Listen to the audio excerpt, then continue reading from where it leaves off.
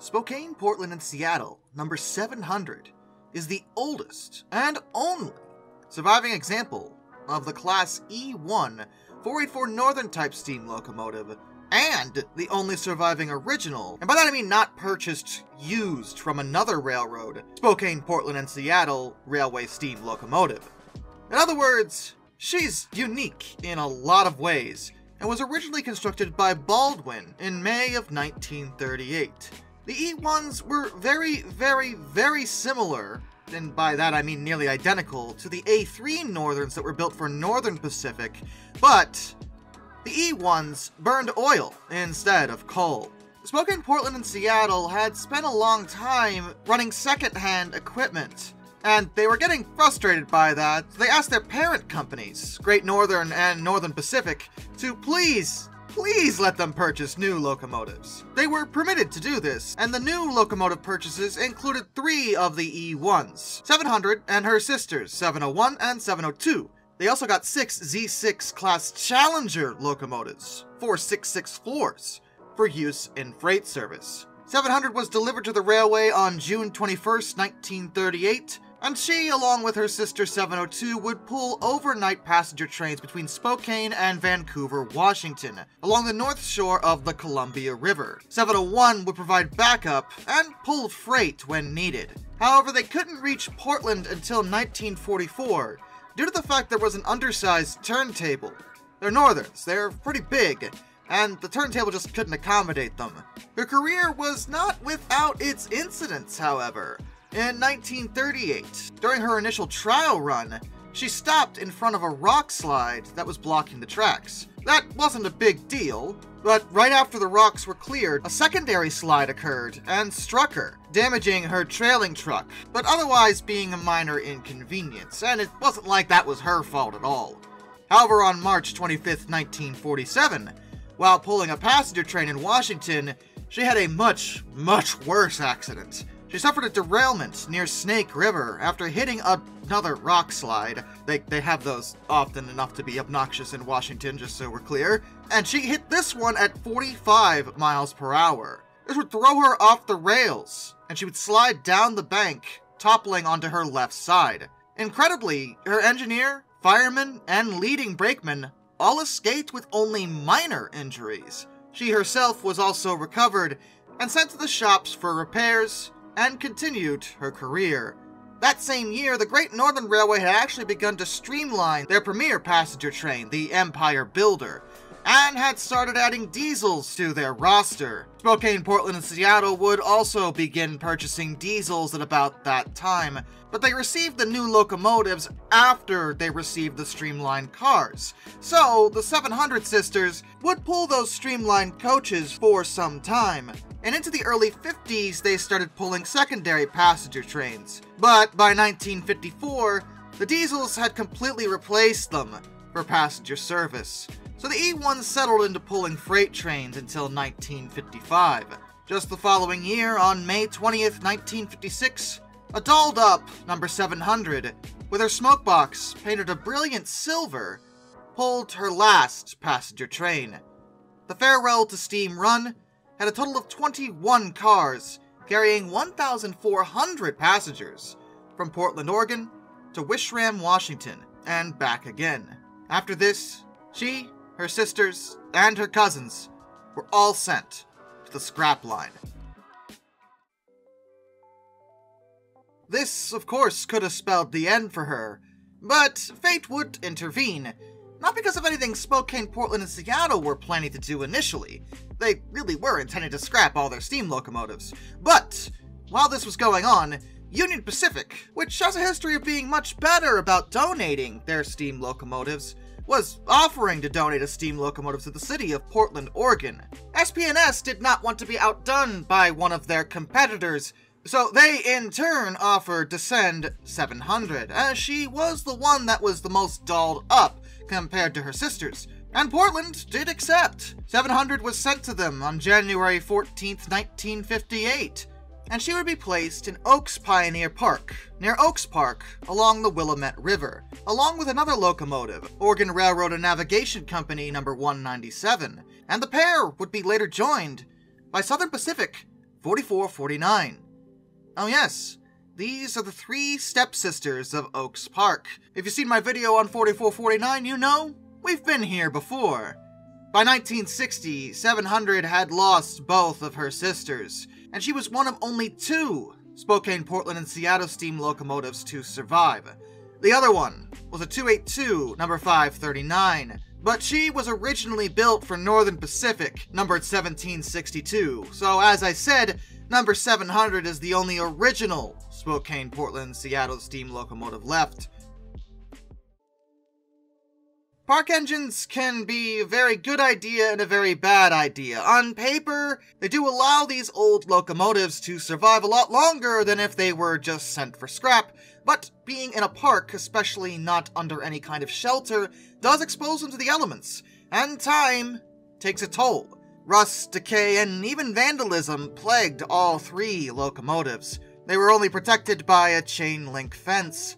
They probably would have fallen apart into a state of complete disrepair if not for the efforts of a single Southern Pacific Railroad employee, who also happened to be a member of the Pacific Northwest chapter of the National Railway Historical Society, Jack Holst.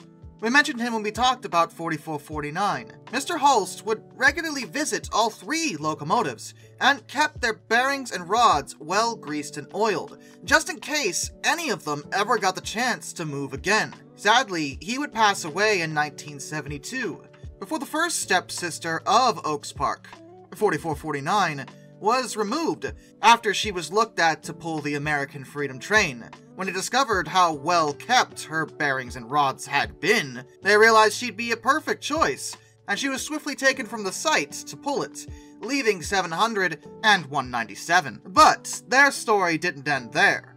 In 1975, a 15 year old boy named Chris McLarney took it upon himself to start working on 700, cleaning and oiling her components, as Jack Holst once did. He would found the PRPA, or Pacific Railroad Preservation Association, in 1977, in an effort to provide support for the preservation work on the locomotive. And 10 years later, on November 9, 1987, 700 was finally moved from Oaks Park to Southern Pacific's Brooklyn Roundhouse in southeast Portland for the restoration work to be continued. With the support of many individuals as well as the Burlington Northern Railroad, number 700 was finally put back into operation on May 15th, 1990. Now, running a big Northern like 700 definitely comes with its share of difficulties. She's large and powerful, and therefore there's only a handful of places you can safely run her. Plus, she's expensive, both in terms of the fuel she needs and the insurance involved, but she has still seen a decent amount of excursions over the years since 1990, including a double-header with her stepsister, 4449, from Portland to Wishram, Washington, and back during the 2005 National Railway Historical Society National Convention, as well as the 2002 Steam Across Montana from Sandpoint, Idaho to Billings, Montana, and back again.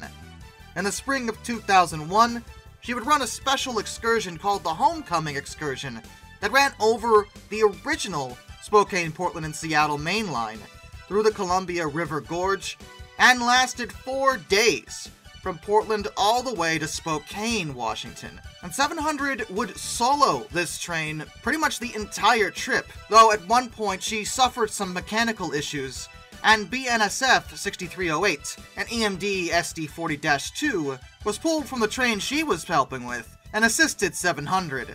That excursion actually ended a little early though, as a result of a derailment between the tool car and the power car. It involved the lead trucks on the power car, but again, that wasn't 700's fault, and she would actually be added to the National Register of Historic Places on January 25, 2006, as the Spokane, Portland, and Seattle Railway steam locomotive. Up until June of 2012, 700, alongside both her stepsisters, 4449 and 197, called the Union Pacific Brooklyn Roundhouse their home. The city of Portland themselves were leasing the roundhouse for this purpose, but after Union Pacific announced plans to demolish it to allow for the expansion of their yard, they needed to find a new place to hold these engines. So the Oregon Rail Heritage Foundation, with support from the city of Portland, managed to raise funds for a new restoration and visitor center that was down the street from the Oregon Museum of Science and Industry to provide the steam locomotives with a permanent and publicly accessible home before the closure of the roundhouse.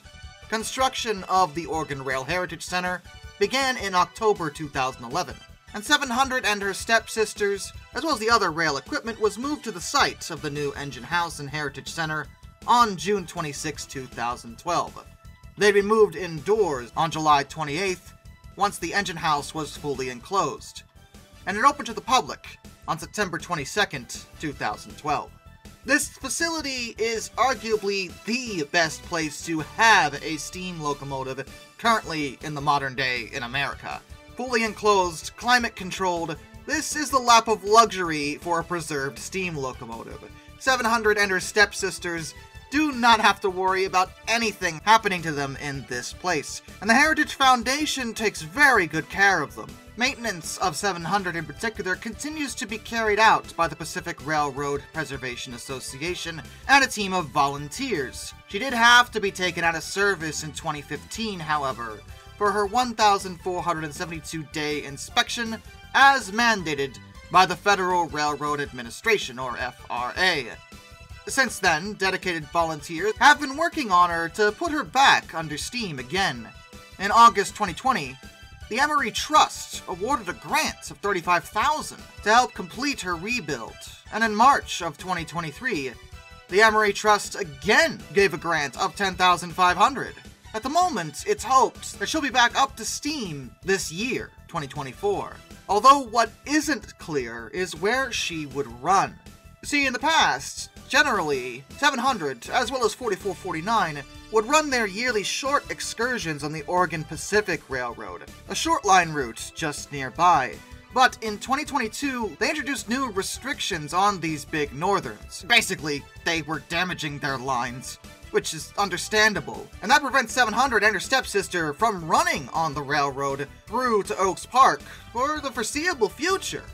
It's not known where they can even put her or runner at all. And it kind of makes them a little bit stranded out there. I mean, don't get me wrong, they are perfectly safe. Nothing is going to happen to them in this facility. They are well taken care of, frequently inspected, they are in the best of hands, but in terms of running, it's difficult in the modern day, especially with new rules in place in America, to actually find places to accept these locomotives. Normally, a short line route would be great, as they tend to be more lenient towards the idea, but Oregon Pacific, lately under the new management, just hasn't been keen, and it's restricted 4449 as well as number 700 from operating. But they're still gonna put her back under steam anyway, and I am certain they will find a place where they can run her. Because she's one of a kind, and she's a fan favorite, even sitting next to her bright and colorful stepsister. She also has multiple nicknames. She's dubbed the Lady, or the First Lady of the Northwest, as well as the Night Princess. I love it! Fantastic! Whoever came up with that name, you are awesome. And in any event, she's not going anywhere. And regardless of how often she's able to run, she will be able to be seen and appreciated for years to come.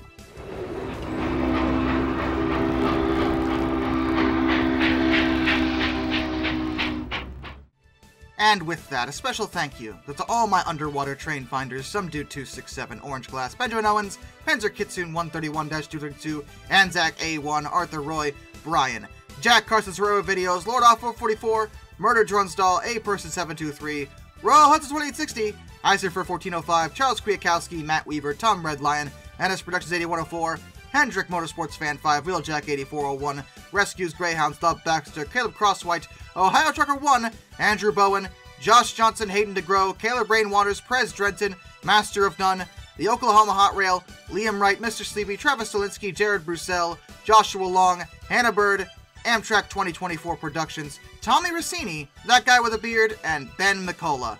Till next time, this is Darkness, and I bid you all a fond farewell.